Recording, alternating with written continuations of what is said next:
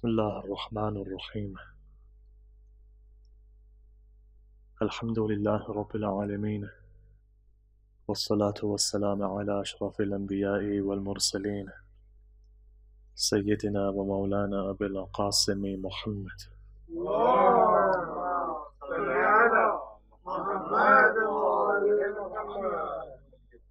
وعلى آل بيته الطيبين الطاهرين المعصومين المظلومين. الذين أذهب الله عنهم الرجس وطهرهم تطهيرا. اللهم صل على محمد وآل محمد قال الله الحكيم في كتابه الكريم بسم الله الرحمن الرحيم. ولقد كتبنا في الزبور من بعد الذكر أن الأرض يرثها عبادي الصالحون. صدق الله العلي العظيم اللهم صل على محمد وآل محمد A series of discussions have gone into a second night. In these unprecedented circumstances, something that we've never seen before in history. Communities are calling this virus unprecedented. No, viruses have come and they've gone. The global reach of this virus is phenomenal. The entire world has come to a standstill. To think that there was one Namrud and a small mosquito brought Namrud down. In the very same way, today you're seeing that this humanity that's full of arrogance has been brought down by something that can't even be seen. Know that there's a sunnah here. Sunnah of Allah is this that when He wants to bring down somebody arrogant, He brings them down with something very small. He teaches them when He tells them, when He shows the world, it becomes an ibrah, becomes a lesson for the world. That if you are to stand up in the position of Allah, then Allah will humiliate you. And this is why you see that a man like Sayyid al-Shuhada who Yazid thought was weak. But today, all across the world, from one end to the other end, today nobody remembers Yazid, but everyone remembers Hussein. 1400 years ago, there was a man. He was standing there with his family. Had he wanted to go for a war, he would have gone to a mountain, he would have brought an army with him. One tradition says that a person comes, he says that there are 10,000 archers from Yemen I can bring you to help you. Sayyid al-Shuhada says, look, we're not going to fight. Sayyid al-Shuhada goes with his family. And here Yazid was thinking that Hussein is finished. Little did he know that Allah was going to create a nation who was going to cry over Hussein. The power of these tears, that's what's unprecedented. Do you know how powerful your tears are? Your tears are so powerful that it shakes the arsh of Allah. This entire journey of Karbala is a journey of tears, a journey of realization. So, look, today people are in their houses. Today you're doing majlis from your homes. Today you can't be one body physically, as the hadith says, that become one body and mourn for Hussein. But look, there's a deeper philosophy if you look into it. Why after 1400 years has Allah made it like this? Only one thing comes to mind. If you've ever been to the Zarih of Sayyid al-Shuhada on the night of Qadr, that every single year with the blessings of Allah we're there, you'll see that the last half an hour before Fajr, the entire room is full, Zarih room, and everyone standing there saying, Allahumma ajjal waliyak al-faraj. Any dua which is done under the dome of Imam Hussein becomes mustajab. You're praying for the coming of that Savior. So, what does Allah do? He gives you an opportunity to accelerate the coming of that Savior. Why? As we mentioned yesterday, if every single family connects on these nights, you can see that domino effect to accelerate the coming of the Savior. It can happen. How do you do it though? Remember, wilaya is important the most important thing that we have is the wilaya. If wilaya is there, what is wilaya? Look, there's two components to it. Wilaya is that love. Wilaya is the governance of Ahlul Bayt over you. Two dimensions. But if you go deeper, what do you find? Wilaya is linked to the wilaya of Allah. Innama waliyakum Allah wa rasuluhu.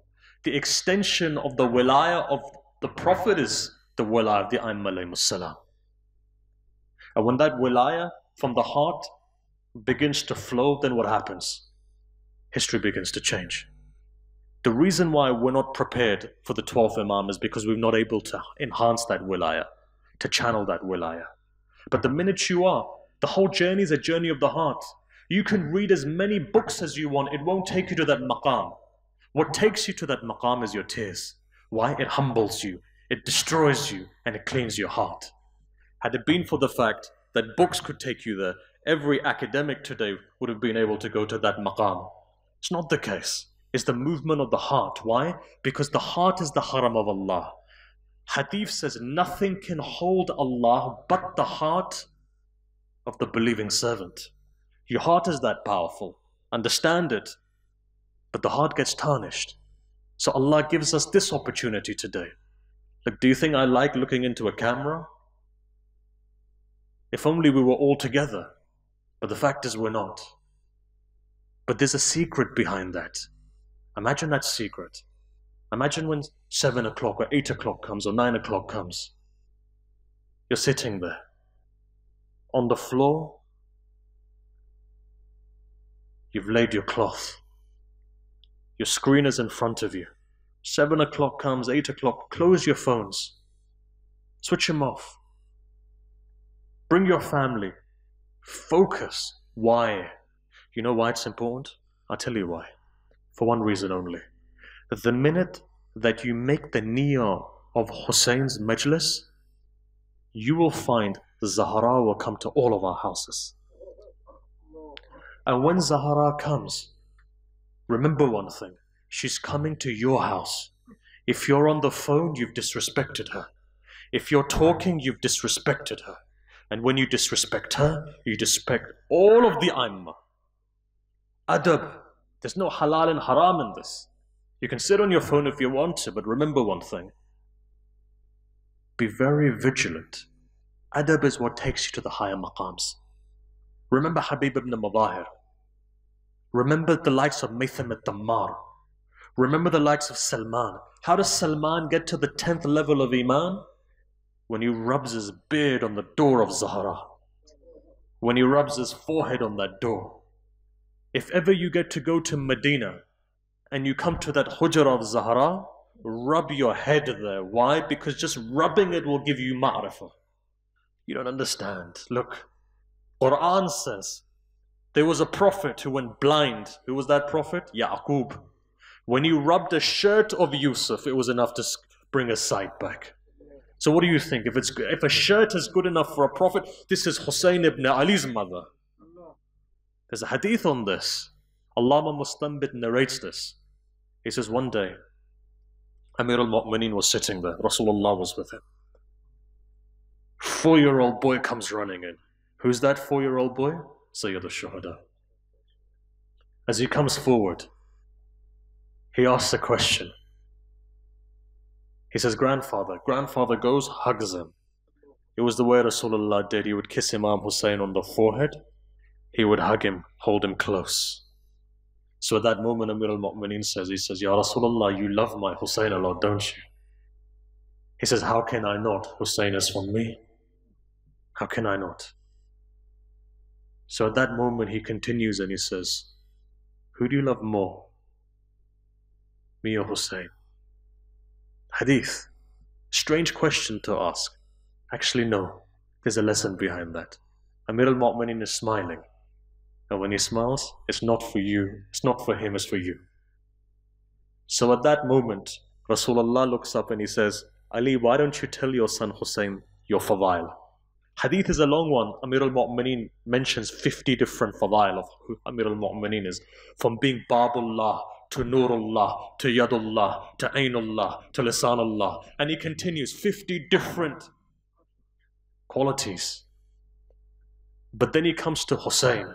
He says, Hussein, then why don't you tell your father what your qualities are?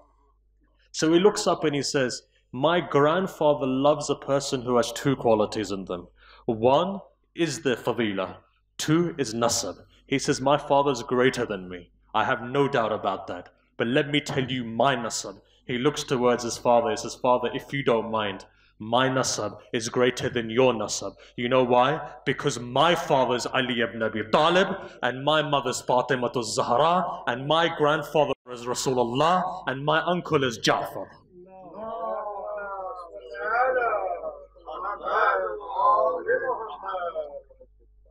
Imagine who these personalities are. As Amir al-Mu'mineen, Amir al-Mu'mineen son saying, my father is you. Who are you? You are that person who when any of the Anbiya had a problem, you'd be there to save them. Look at the Bible and see. Who's Elia? There's only one man who claims to be Elia.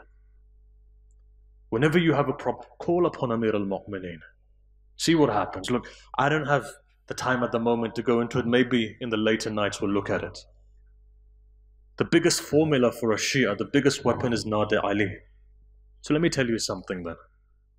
Ayatollah Kashmiri, Abdul Karim Kashmiri, Sahib Karamat. His students are Sahib Karamat. So imagine what Ayatollah Abdul Karim Kashmiri is. Ayatollah Abdul Karim Kashmiri, for one istikhara, is to take a bead. From the bead, he would tell you the verse of the Quran and tell you 56 different sides of that outcome of what you thought about. And basically, until the day you die, I could tell you. Until Ayatollah Bahjat came to him and says, Please don't tell people all of these things. That Ayatollah Abdul Karim Kashmiri says, My teacher said that if ever we have a problem, we recite or we make the niyyah that we will recite Nadir Ali for 40 days 110 times. Or say, in this world, Ali is Haydar Karrar. In that world, he is Ghalib ala kulli Ghalib. If you understand Amir al-Mu'mineen, use the name of the Imam. No, more than that, what does he say? He says, My judge is Rasulullah. If ever you want to extend your ma'rifah, remember, it's your sins that stop your ma'rifah. It's your sins that stop the wilayah from you connecting. It's because of we, the fact that we sin, we're pushed back. So what does Rasulullah? Quran says, if you ever sin, take the wasila of Rasulullah. Ya Rasulullah, ask Allah to forgive us. What happens? Heart becomes pure. Nadir Ali comes into play. You see yourself flying. He doesn't stop there. Though who does he say afterwards? He says, but my mother is Fatima. I don't need to say anything. If you understand who she is, just one Ya Zahra is enough.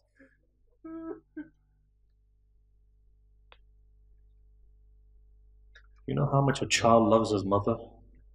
Now imagine how much Hussein loves his mother.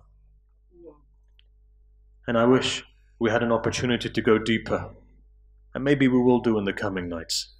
But let me take it a step further. And that step further is this. Then he says, My uncle is Ja'far al-Tayyar. Who is Ja'far? He has two wings in the heavens. But let me tell you something. Whenever anyone had a problem in Qum, they would go to Ayatollah Bahjat. And one of them is in front of me. It's a man who couldn't get married. In fact, he's from one of the famous English speakers in the world today. So I don't want to mention his name because he still is on the member. He goes to a friend of mine. He says, Can you ask Ayatollah Bahjat? I'm not getting married. My mother is concerned. Could you go and ask Ayatollah Bahjat if there's something I can recite? Ayatollah Bahjat said one thing, and he would say this as a cure for everything. He says, Go and recite Ja'far. What is Ja'far? Ja'far Tayyar. Right? He says, But you don't recite it. If his mother is alive, ask his mother to recite it. Now, in the Mafatihul Jinan, the dua, according to Ayatollah Bahjat, that comes after that you're meant to recite, he says that's not the actual dua. He goes, go to Zad al Ma'ad, the actual dua is there. And when you go into sajda, a couple of drops of tears, let it come into your mother's eyes. No time had passed. Alhamdulillah, he was married.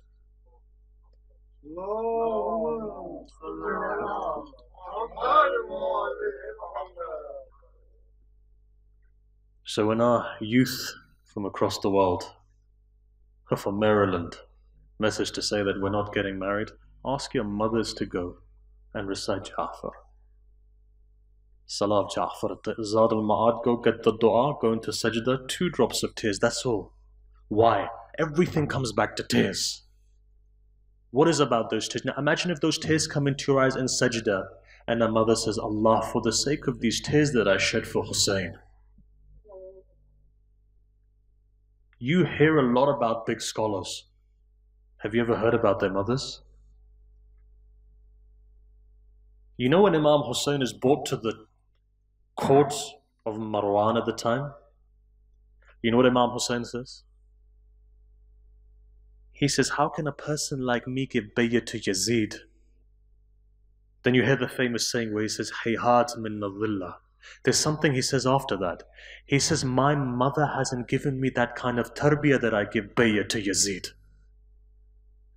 He remembered his mother then, Hujjat of Allah. If I put it to you in another way, if a person's close to their mother, even after their mother dies, if they're ever faced with a problem, what do they say? My mother was alive, she would have said no to this. Out of respect for the mother, you take a step back. So imagine if your mother's Fatima to Zahra alayhi salam. Now let me take it a step further. Let me give you a story, just to emphasize this.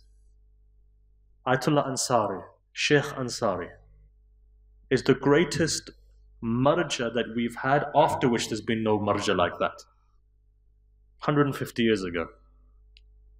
Khatam al-Fuqaha, nobody else like that afterwards.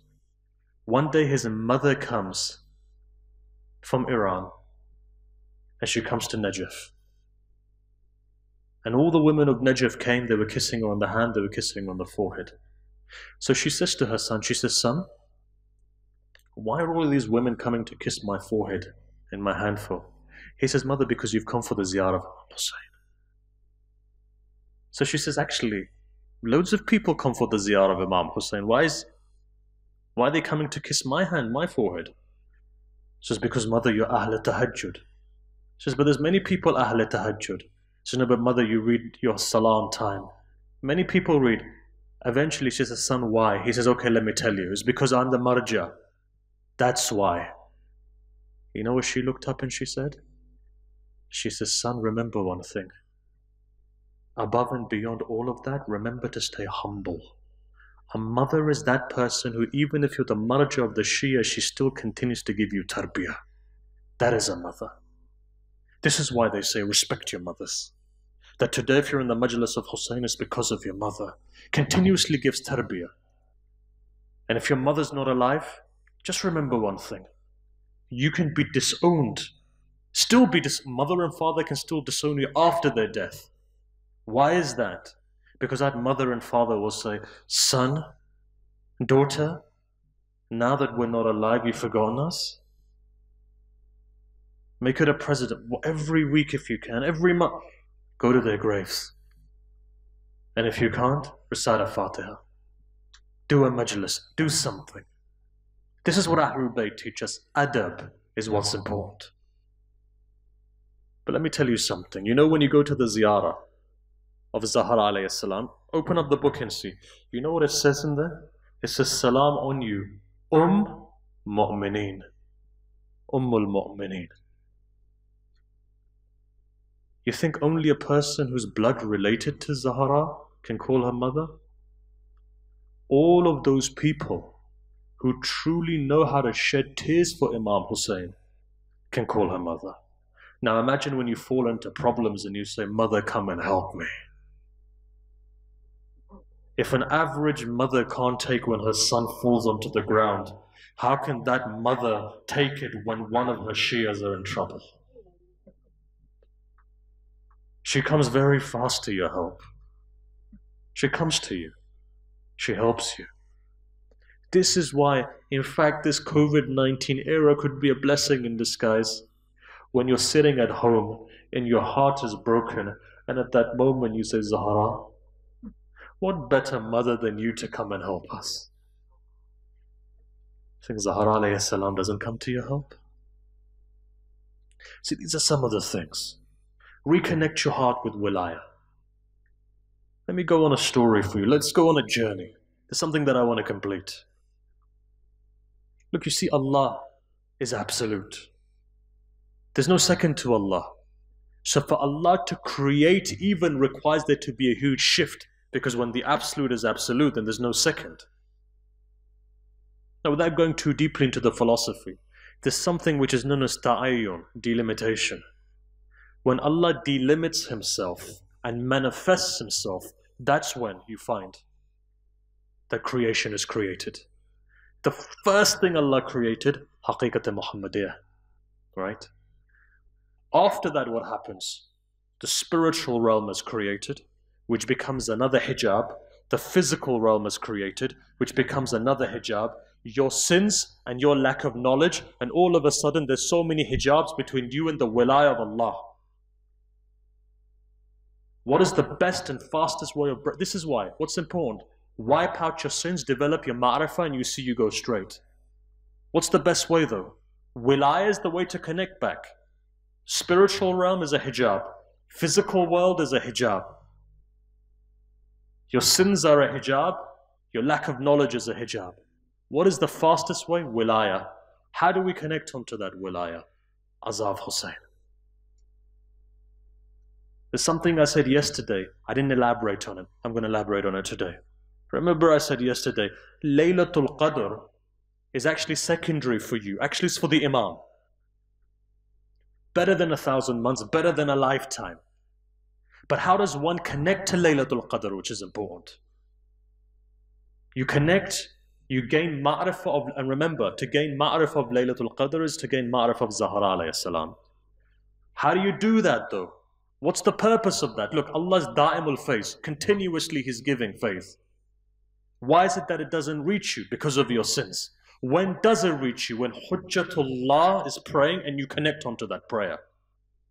Tahajjud, for example, last one third of the night. Dua is accepted the fastest, then why? Your Imam is praying. When you come to the majlis of Imam Hussein, when the Masaib, the Musibas, when Imam is crying. What happens then? Laylatul Qadr. It's not just about staying awake. It's uh-huh. about that moment when the heart connects to the hujjah and then everything is accepted. Ma'arifah increases. So what is this? Majlis is that thing that brings together all of the amma in any of this one hour, 45 minutes, whatever it may be. At any stage, if the heart connects as the lutf of the imam, your ma'arifah increases. When your ma'arifah increases, you become a different person when you go outside. But look, let me elaborate more. And perhaps it's a bit of philosophy here. But hopefully, if we can get this introductory two or three days, we can go on to our topic. So let's move on this very quickly. Look, understand Wilai in this way. Wilai is an umbrella that encompasses Risalat and Nabuwa. The first person on earth is Adam, but Adam is Sahib Wilaya, he's Waliullah. Remember one thing all of Wilayah goes back to Amir al-Mu'mineen. We have 124,000 prophets according to a tradition. The tradition is weak. We can also have another hadith says 320,000. Regardless of which hadith is correct, the fact is we've got a lot of anbiya. Do you know all of their names? No. Why don't you know all of their names? Because a nabi is not allowed to declare that he's a nabi until Allah doesn't give him the hukum. How many Nabis declared? 313. Who were they? Rasul. Rasul is that person who takes a message to the people, so you know who they are. From all of those Rasuls, five of them are special. Now look, we don't have time to go into the details. You go to Usul Kafi, there's four sections of what a Nabi is. One Nabi is this, two Nabi is this, and the final stage of a Nabi is an Imam. Five prophets have got to that stage who were imams. They developed to that stage, right? They developed to that stage. Each one of them developed to that stage. There's only one who had it from the beginning, and that is Rasulullah.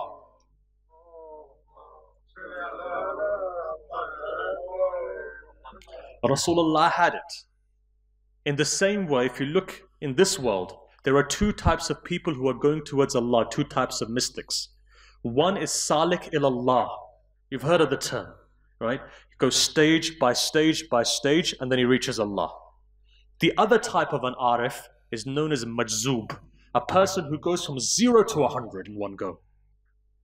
When you go step by step by step, look, when you go into the field of irfan, your teacher monitors you to make sure that no bala comes on you.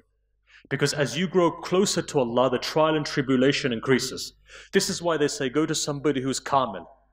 For example, if you went to Ayatollah he would remove the hurdles, spiritual hurdles. Why? Because the biggest problem is this depression. When you go on this pathway, every name of Allah has an effect on you, positive and negative. The spiritual master removes the negativity, and step by step by step you go. That's a salik. In this way, you notice Musa, step by step by step until he gets to the final level. Ibrahim, Nabi, right? Step by step. Khalil, Rasul, Imam. Step by step by step. In the same way, Isa, your prophet goes from the very beginning to the highest maqam. Why? Majzub. Quran also says this. فَلَمَّا جَاءَ مُوسَى لِمِيقَاتِ Right? Musa has to go at the invitation of Allah. When you look at Rasulullah, what does it say? Subhanalaziz asrabi abdihi laylan min al-masjid al-haram ila al-masjid المسجد الأقصى. One goes towards Allah, the other Allah pulls towards him. There's a difference there. Why? Majzub. Who, from all the Urafa, they say Ayatollah Bahjat was Majzub. At the age of 14, Sahib al Ard. In a blink of an eye, 14, he was going from one end of the earth to the other. But other people said Ali Qadi marhum, step by step by step. And to, if you were to ask somebody, what would you want to be? Majzub, of course. Responsibility is more though. So now to come back. Every prophet is tested. Every Ahl Wilaya is tested. Wilaya is insani kamils. Who is that? Amir al-Mu'mineen. One nur is created that nur is the nur of the Prophet that contains the wilaya. Ana wa Ali min nur wahid. That nur has two components. Amir al-Mu'mineen and Rasulullah. Outer is Rasalat. Batin is wilaya. Imamat itself, batin is wilaya. Greater than Rasalat and Nabuwa is wilaya. All of these are grades of wilaya. Why? Rasul is a Rasul in this world. Nabi is a Nabi in this world. And each one of them are walis. So it comes under the bracket of wilaya. Remember this. Allah's name is not Nabi or Rasul. Allah's name is Wali. And Allah's Wali for both levels of creation. And therefore, Allah's name Wali transcends everything. And when Allah gives Wilayah to somebody, the first stage of Wilayah is the haqiqat Muhammadiyah. This is why the Quran says, Innama waliyakum Allah wa rasuluhu. And that person who in ruku gives zakat, all three of these are wali, all three of them have wilayah. What happens in Ghadir Qum? You go to Ghadir Qum and what you find Rasulullah saying? Allah says to Rasulullah, Ya ayyuha Rasul balligh, do tabligh of what? This message, if you don't, فَمَا بَلَّغْتَ رِسَالَةَ Your risala is not accepted. What does it mean, your risala? 124,000 prophets from Adam to Khatam, everything is gone. Everything is gone. Adam began a message. When we say Rasulullah is Khatim in Nabiyyin, like this is a Khatim. This is a stamp. Let's say it's got writing on it. In America, you won't find this very much because you're a modern society only two, three hundred years old those places where there's kingship, for example, like we are here in the United Kingdom, when the Queen seals something, she does khatm, stamps it. That means that it's sealed. Rasulullah is that seal that stamps it. It means it's legitimate now. I can write a whole document without the seal doesn't become legitimate. In this country, when the Queen puts her stamp to it, it means it's legitimate. Every law from Parliament has to go to the Queen. If she stamps it, it becomes legitimate. Rasulullah is that stamp that initiates to say that the Risalat of all of the prophets is legitimate. But in Ghadir, it tells us something that the ink Rasulullah uses to stamp is known as Ali ibn Abi Talib. Why? Ya ayyuha Rasul balligh. Tell them. Tell them. What? Man kunta mawlahu fahada aliyun mawla. Mawla wali. Wali. And before that, okay, you can turn around and say there's 23, 24, 27 meanings. Awla bil, An-Nabi awla bil mu'minin min anfusihim. Rasulullah is awla. Then all of the believers are to themselves. In the same way, Amir al-Mu'minin is awla to you than you are to yourself. What does that mean? If Ali says jump, you jump. If Ali says sit, you sit. Why? You've heard this before. I'm not saying anything new. Every khatib, every zakir, every alim will come and tell you that Nabi has more rights over you, Ali has more rights over you. But let me tell you why. Three reasons.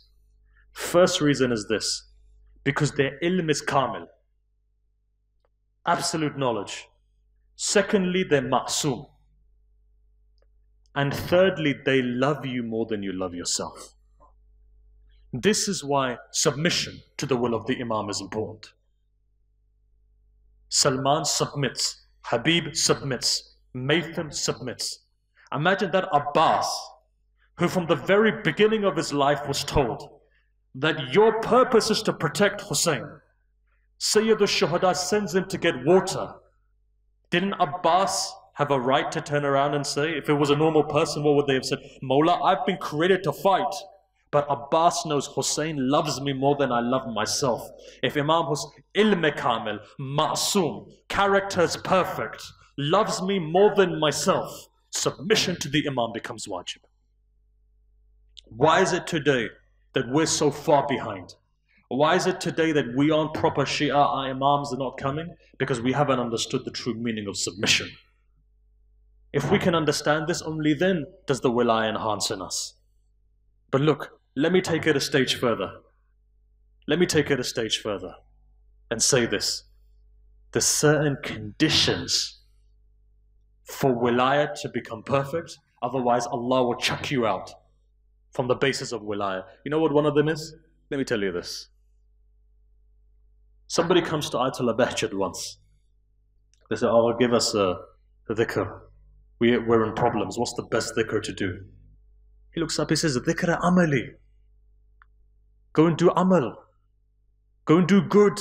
Help people. More than just sitting in a cave reciting Allah. Allah is to go and help people. Why? Balais are removed when you help people. Many a time you think your solution lies in reciting a dhikr. No, actually it lies when you go and help somebody when you feed somebody, when you educate somebody. Right? So now let me develop this. A person comes to the seventh Imam salam, and they say to him, they say, Look, Mawla, I've come from Ray. Ray's in Iran. Right? All of Tehran today would be covered by Ray. So he says, Mawla, there's so much taxation in Ray, I can't afford it. But I know that the Hakim of Ray is your Shia. Can you help me? Mawla says, Don't worry. Bismillah ar-Rahman ar-Rahim writes a letter.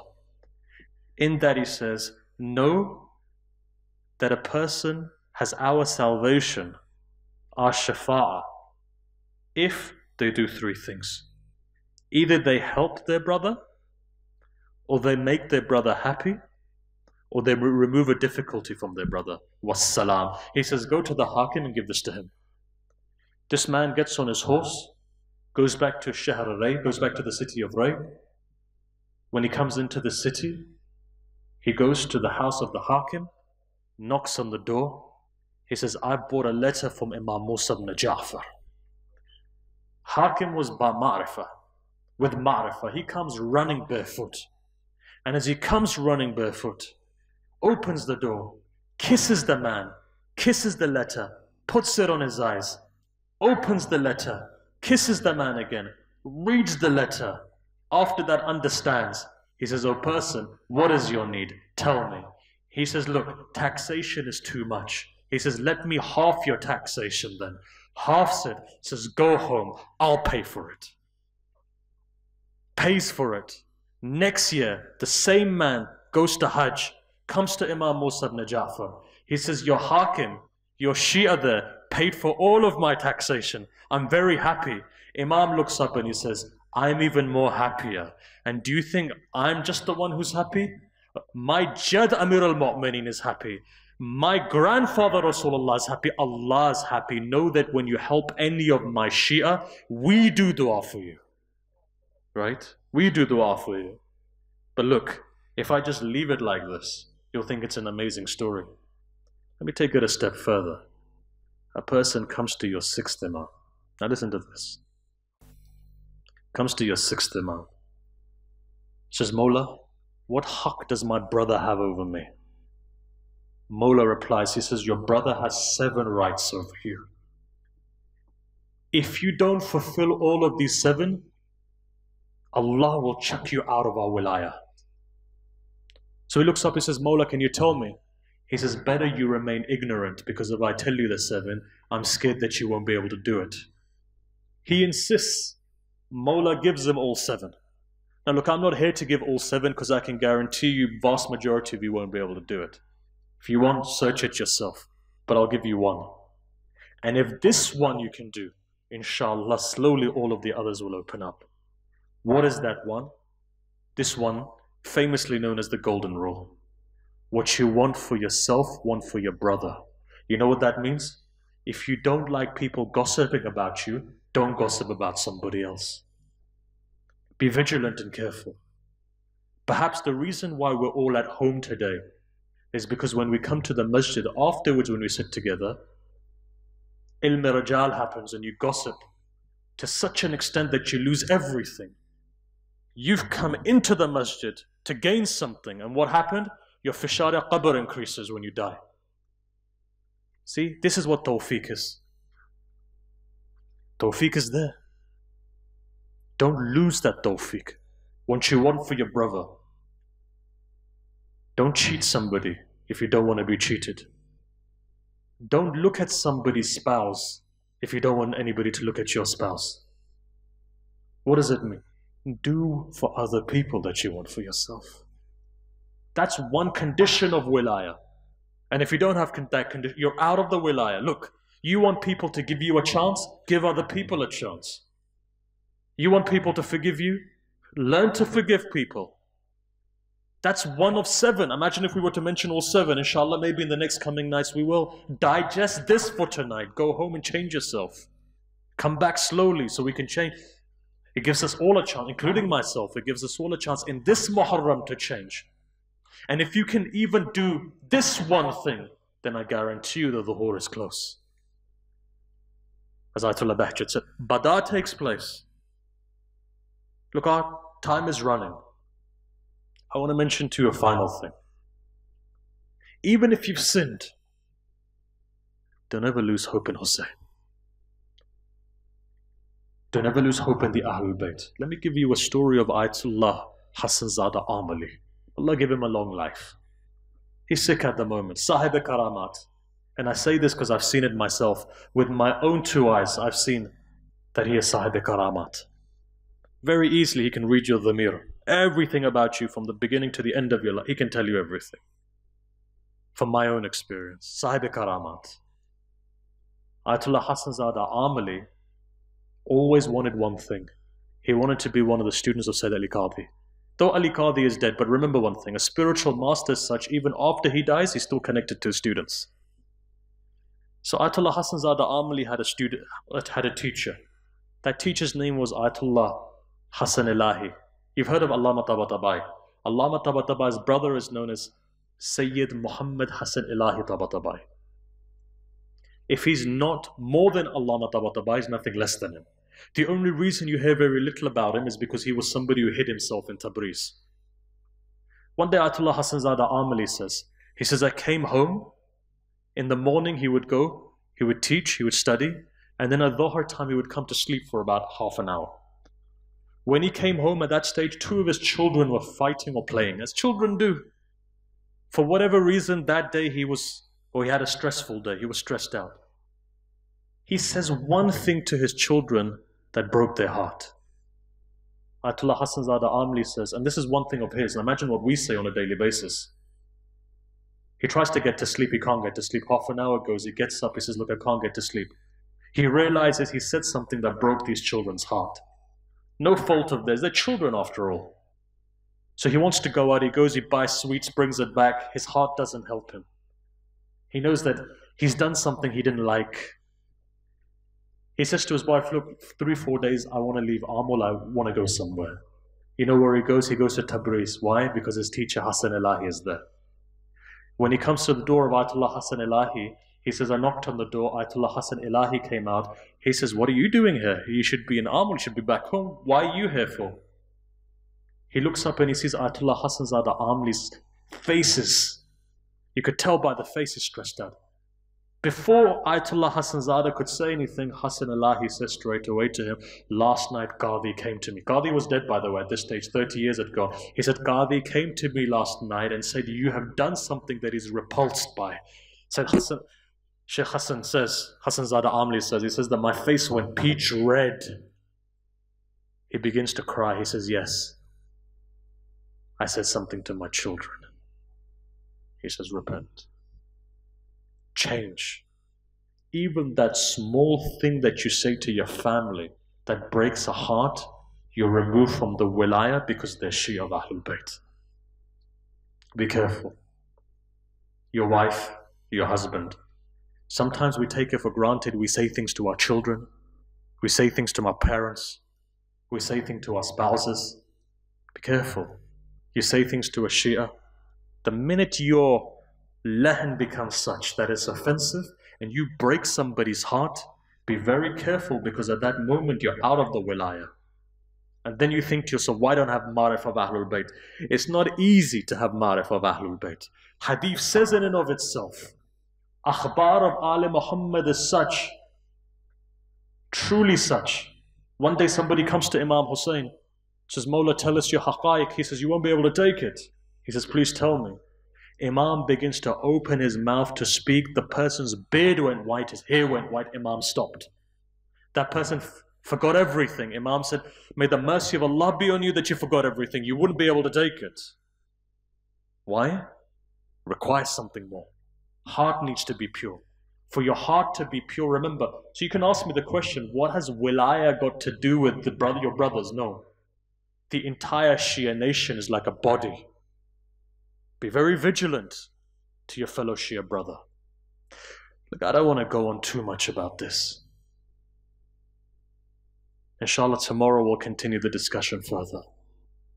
If only we can take one thing home today. There's just that. Become true Shias of Ahlul Bayt.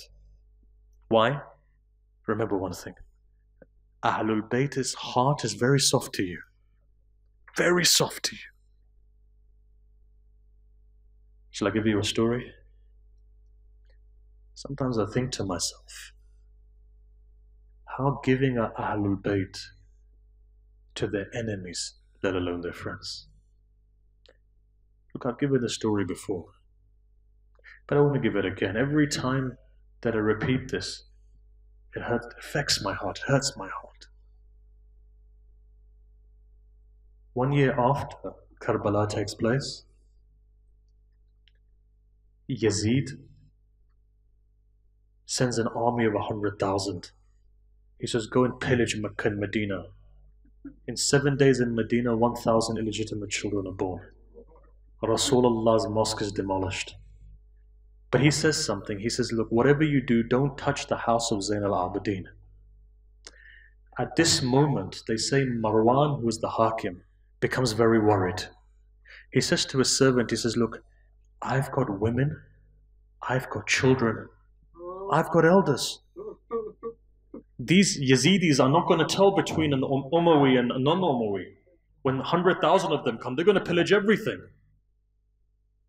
What should we do?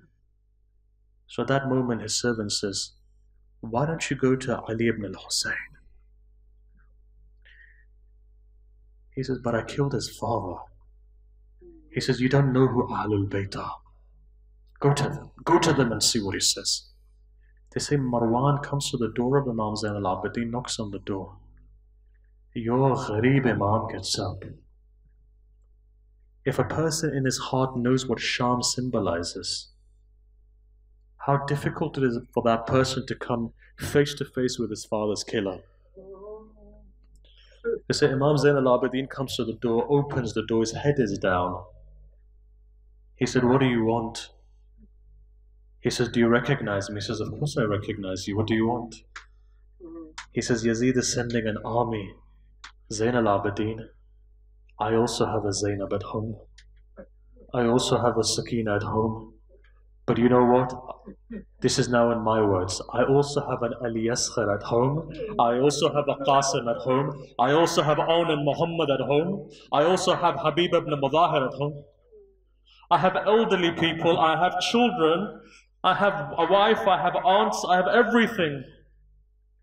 Zain al Abidin, what should I do? You know what Imam says? He says, Give them to me, I'll protect them. They say, For one moment, tears come into this Mal'oon's eyes. He says, Can I ask you a question? He says, What's that question? He says, When we were in power, we oppressed you. Now that you're in power, you're showing us so much mercy? You know what Imam Zain al Abidin replied? Tears in his eyes came, and he just said one thing. He said, Marwan knows something. The difference between you and us is this your mother is Hind, our mother is Zahra. If they're so merciful to their enemies, Shias of Hussein, for one second think where you're sitting. You're sitting in the majlis of Imam Hussein. You're sitting in the majlis of Imam Hussein. This is the time of istijabat of dua. You think if you raise your hands, Allah's not going to accept it? Let me tell you one more thing.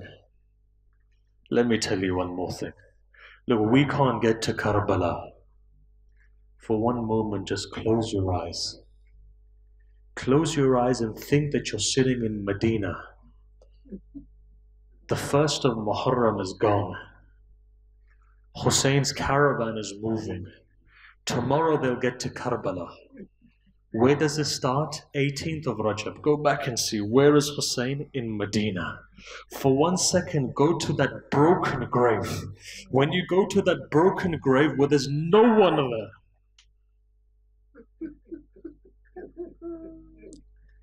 Shias, on your mother's graves there's a candle. On your grandmother's grave there's a candle. On your grandfather's grave there's something there, right? On your father's grave there's something there. Shall I tell you something? There's only one mother in the world who has nothing on her grave. Perhaps a voice comes from that grave to say, Can somebody come and light a candle on my grave? Now, if you're sitting on that broken grave, imagine if you were to sit there, what would you do? The first thing you would do is give condolences to Imam Hussein, right? After that, what would go in your mind? Ghurba of Zahra, Ghurba of Amir al Mu'mineen. One part of the Ghurba of Zahra, loneliness of Zahra is what?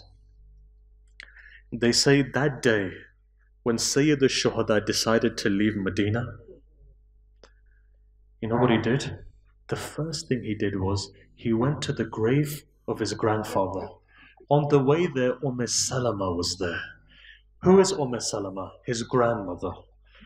Umm Salama raised Imam Hussein after Zahra. What does Umm Salama say? She says, Son, where are you going? He replies, He says, Grandmother, I'm going to my Jad's grave. He says, Why are you going there, my son? He says, Because I want to complain to him. His ummah's not letting me stay in Medina anymore. He says, Hussein, where are you going? He says, I'm going to Karbala. I'm going to Iraq. Says, Your grandfather said to me, Ahl Iraq will kill you. Imam Hussein goes. As he walked towards the grave of Rasulullah, he walks like a man would walk. As there walks. Walks there next to the grave. He says that when he puts his head on the grave, he remembers something. He remembers as a child when Rasulullah would grab him, put him next to his chest, tightly. He remembers all of that. He closes his eyes, wishing Rasulullah would come again. You know what he sees? In a dream, he sees Rasulullah stands up from his grave, comes to Sayyid al-Shuhada, hugs him, and he says, he says, Hussein, Allah has decreed that you are killed in Karbala. Mashiyyah of Allah such. So you know what Imam Hussein says? The first thing he says is this. He says, Grandfather, I don't care about myself. Just tell me one thing. What's going to happen to Zainab?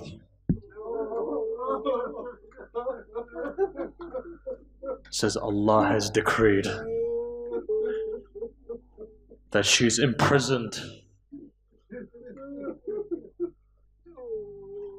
They say Imam Hussein gets up. Tears are in his eyes as he walks out of the rows of the Prophet, a man comes to him and says, Hussein, why is there tears in your eyes? He says, My grandfather has told me I'm going to be killed in Karbala. He says, But Hussein, Shahadat is for you. He says, That's not why I'm crying. He says, Why? He says, My Zainab is going to be imprisoned. That's why I'm crying. Ali's Ghaira is going to be imprisoned. My father couldn't hear my sister crying. He would say to the people of Kufa, Go from here because Zainab is crying. You know the biggest sign is? The biggest sign that the women of the Ahlul Bayt were oppressed is a three-year-old girl. Why? Because that three-year-old girl's ears were still bleeding when Imam Zain al-Abidin was burying her. Look, I wish I could say more.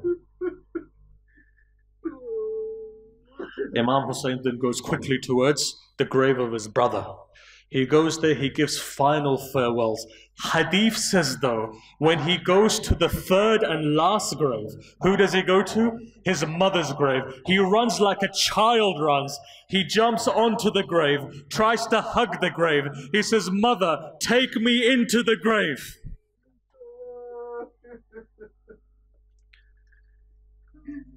Nighttime falls, Imam Hussein goes back to his home. When he goes back to his home, Sayyidah Zainab calls him. Goes to Sayyidah Zainab.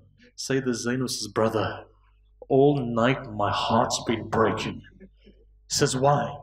He says, Every time I go into my house, when I go into my room to lie down, I can hear a voice coming from outside.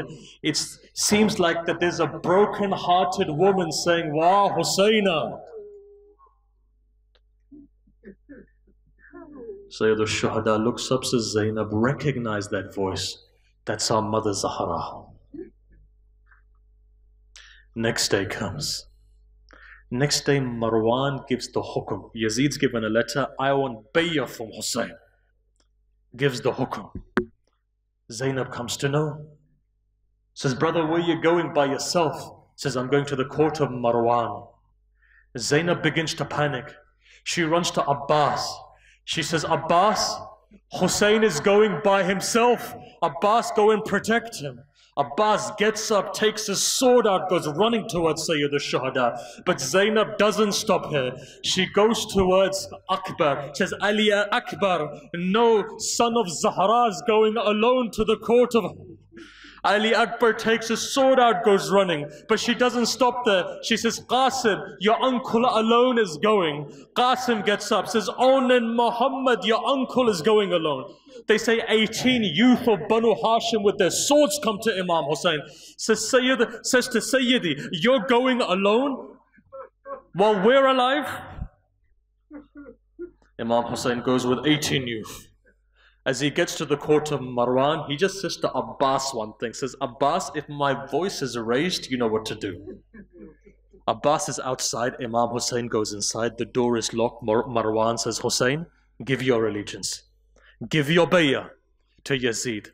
At that moment, he says, You want me to give bayat to Yazid? Somebody like me gives somebody like him. As his voice begins to raise, Marwan says, Go kill Hussein. Tradition says one man goes forward towards Imam Hussein. Imam Hussein's voice is raised. Abu al-Fadl al-Abbas takes out his sword, grabs the door, the door is locked, takes his shoulder, hits the door, door falls. Abbas comes in, says, Mola, which one shall I kill first? Imam Hussein looks up. He says, Abbas, this is the city of my grandfather. I don't want any bloodshed in the city. You know what he says at that moment? He says, Abbas, now get ready. It's time for us to move from Medina. A Rawi by the name of Abdullah says, he says, I saw Hussein the day he left Medina, and then I saw Hussein on the day of Ashura. He says, What did you see? Rawi writes, He says, I saw Hussein sitting there. On his right was Abu Fadl Abbas. On his left was Ali Akbar. He says Hussein gave a letter for all of those people who were going to Karbala. One man stood there and he recited. He called all of the women out one by one to come out to go on the camel. The first thing he says is this. He says, Layla, come out. Ali Akbar, go, take your mother, put her on the camel. One camel would come, young son would go, grab his mother, put her on the camel. Next woman would come, next one would go, grab their mother, put them on the camel. Eventually, a time came, a time came when Fidda came out and said, The daughter of Amir al Mu'mineen, Umm Kulthum is coming. Abbas stands up, goes forward and says, I'm going to make sure that my sister goes on top of the camel. When all of the women were on the camel, then Fidda with tears in her eyes comes out, says, The daughter of Zahra, Zainab is coming. Abdullah says, I saw Hussein stand up himself and he gets up and he goes to his sister. At that moment, his sister with tears in his eyes says, brother, please today, you're not going to put me on the camel. So at that moment, Imam Hussein says, Ali Akbar, you go. Zainab says, Ali Akbar, not you today. Aun and Muhammad, you go. Says Aun and Muhammad, not you today. Imam Hussein says, Zainab, who would you like, Abbas? She says, no. I want that person who on the day of Ashura, the day after Ashura will put me on that camel. Sayyid al-Shuhada puts his head down. Sajjad, you come forward. You know what happens on the 11th of Muharram? I can't even narrate it. it. says when all of the men are gone, all of the camels are ready, all of the women are standing there. The daughter of Zahara comes forward, puts one knee on the ground, says, Women, stamp on my knee and go on the camel. All the women put their hands together, tears in their eyes. They say, How can we step on the knee of the daughter of Zahara? Says, Stamp on my knee and go up. There's no other choice. One by one, all of the women with their tears in their eyes go on to the camel. Eventually a time comes when Zainab is all alone there.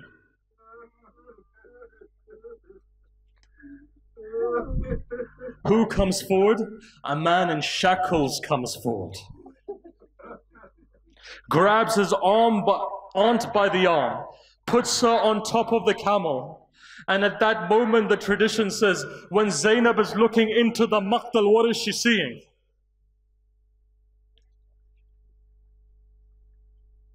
Look, my final words are these. This is the moment of dua. Abdullah says this, final thing he says is this. He says, I saw Hussein when Imam was leaving Medina, then I saw Hussein in Karbala. Says, what did you see Hussein in Karbala? How was he? Ayatollah Ni'mat al-Jazairi narrates. He turns around, he says, Fatima from Medina writes a letter to her father. Every day she would stand there on the door waiting for her father to come back. You know how daughters are like, right? After a daughter comes of age, It's not the wife who's waiting for a husband to come back. It's the daughter who's waiting. It's your daughter who calls you to say, Father, are you okay? This one daughter would stand there every single day waiting. When her father was leaving, she just said one thing Father, please call me as well. Father says, maybe one day, maybe one day. A time comes, she writes a letter she gives this letter to Qasid. She says, Qasid, go to find my father, he's gone towards Kufa. They say when Qasid comes to Karbala, when he comes to Karbala, he says to the people, who is Hussein? He sees that a broken father with blood on his face, his beard white, holding his back, sitting on the body of his son Ali Akbar was there, sitting on the body of his young son was there. Somebody said, That's Hussein. He said, Fatima didn't describe this type of a person. Says, how did he describe? She described him like this. He, she said, Abbas will be on one side, Ali Akbar B will be on the other side, Qasim will be in front, Aun and Muhammad will be around. At that moment, Imam Hussein says, I'm Hussein, bring me the letter. He opens up the letter. What was on the letter? One sister was writing, Brother, when the day comes, when you get married, don't forget this sister. Imam Hussein takes that letter, puts it on the chest of Ali Akbar. Son starts to shake, brother is shaking. Inna lillahi wa inna ilayhi raji'un. For the sake of Muhammad and Ali Muhammad, may Allah accept our worship today. For all of those people sitting at home and for all of those people who are anywhere in the world who are watching this. For the sake of that moment, for the sake of that moment, when one small girl is sitting opposite Yazid, and Yazid says, Oh girl, I've heard your father loved you a lot. If truly your father loves you, call him and see, will he come to you? They say two small hands come up. That small girl says, Father, Yazid is testing our love. Hadith says Hussein's head began to rise towards the lap of this. For the sake of that moment, may Allah accept all of our hajat. May Allah hasten the zuhur of the Imam, Matam Hussein.